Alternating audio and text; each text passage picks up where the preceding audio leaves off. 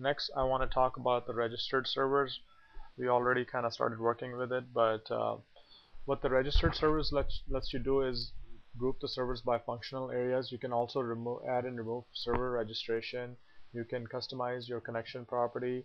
You can export and import uh, the server list to and from another server. So kind of quickly look at this one we don't uh, actually we did not see at the look at the registered servers yet. So in order to get to that you, you click on view and then registered servers.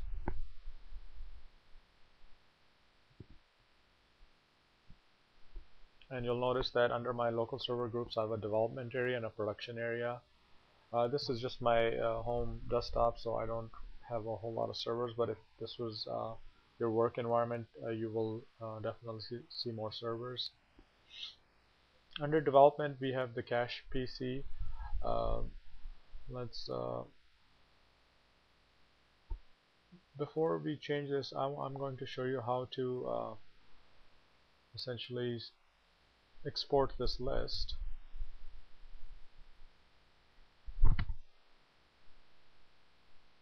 To a file so I will call it uh, SQL and I will select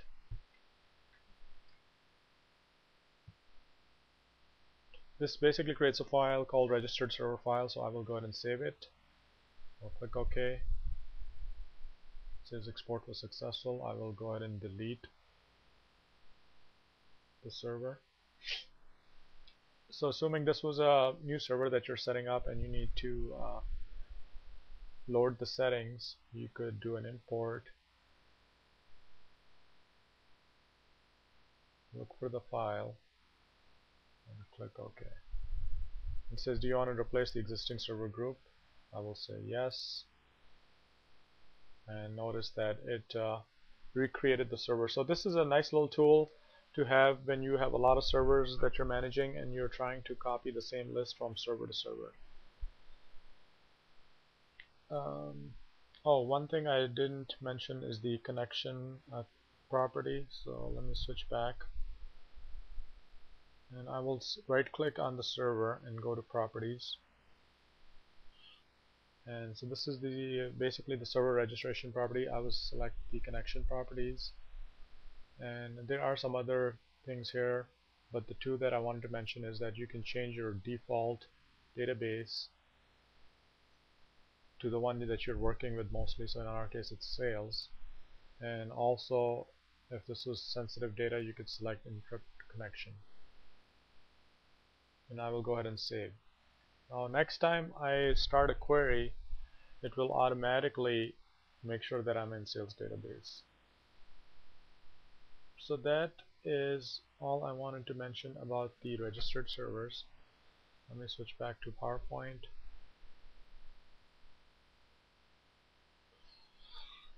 The next topic is Object Explorer. This is what I call the meat and potatoes part of Management Studio uh, really the heart of the application where you're going to be spending uh, most of your time. You can, uh, using Object Explorer, you can connect to different SQL Server services. You have the ability to change server and database configuration settings. When you connect to the database engine, there's a hierarchy of objects which are grouped by the logical areas. You have a filter option to limit the number of displayed objects. Uh, also, you have very powerful customized context menu for quick tasks so let's go ahead and jump into this and uh, I think this is where we're going to be spending most of the time uh, for this tutorial. So notice uh, it created uh, sort of like a tab here. I'm actually going to go ahead and uh, just remove the registered servers. So we won't be looking at that um, for now. So you'll notice um, before I even start talking about the database engine you can select click on connect and you can connect to different uh, services.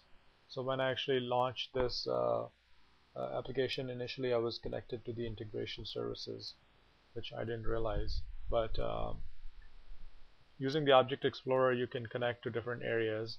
I don't think I have analysis or reporting services running here so if if I had some packages uh, SSIS which is the integration services if I had some packages I could uh, possibly come here and run those from within Management Studio.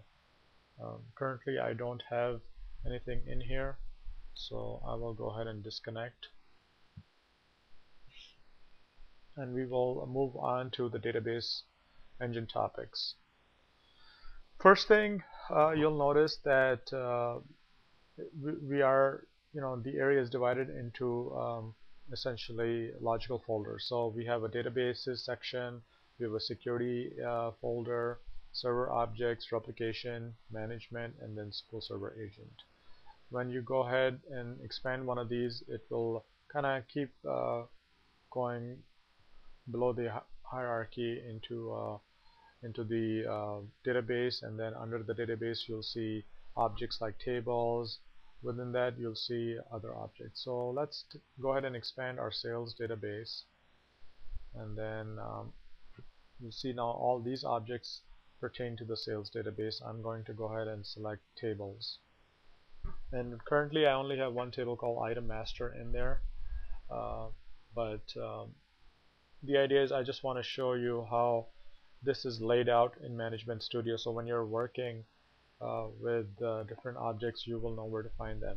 So I just expanded the security tab under the uh, databases. Now remember there was a security here too. Um, this security has to do with server level information.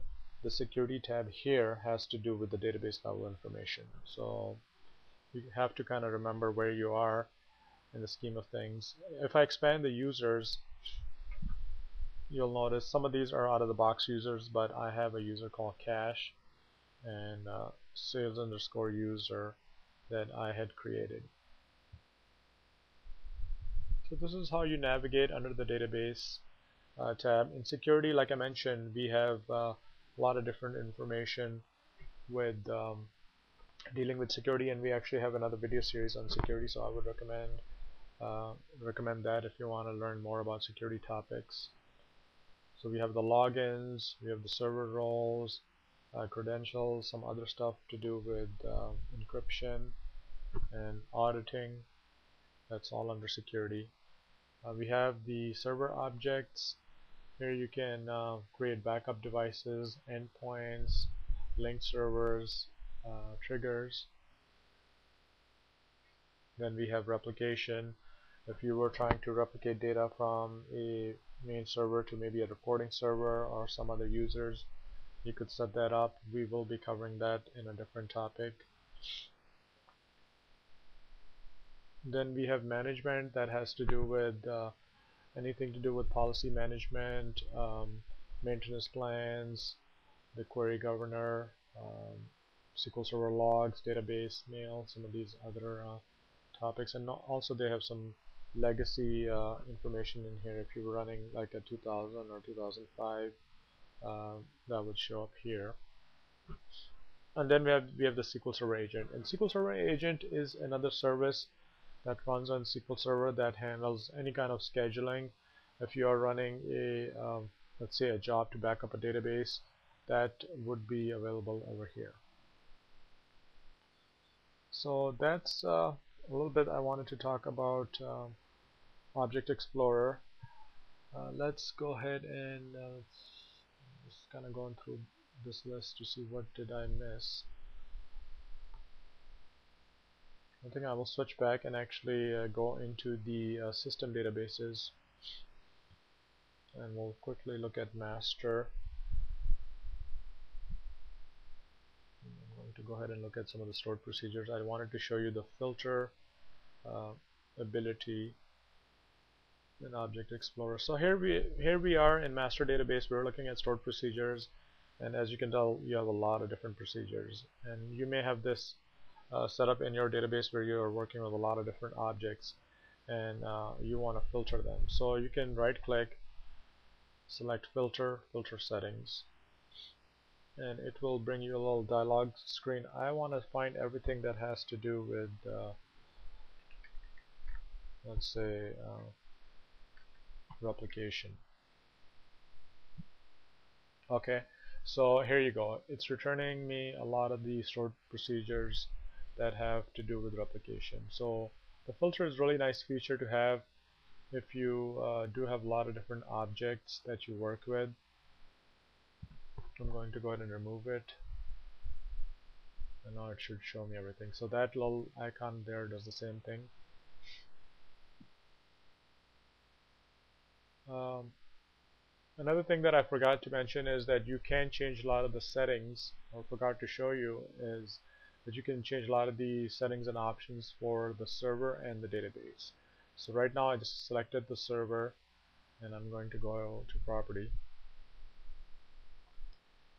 and uh, here are a lot of the different settings. We will uh, again cover this in a different topic. Today really the idea is just to kind of navigate around in management studio kind of get familiar with the uh, different uh, layouts and windows and options that you have available. So I will not be discussing these in detail but if you were trying to find out how do I change some of the server properties you could just select the server and go to properties. So similar uh, to that you can go to the database level select a database and also go to properties. And uh, kind of looks similar to the server but definitely has to do with the database. Here here it's showing you what are some of the files that are tied to the database. Uh, do you have mirroring enabled transaction log shipping so as you can tell the object explorer has huge amounts of information there's a there's a lot of uh, nice little features in here that you can use Uh, finally, the last thing are some of the miscellaneous topics. Um, you do have a built-in report functionality on server and database status, so I'll uh, quickly show you that.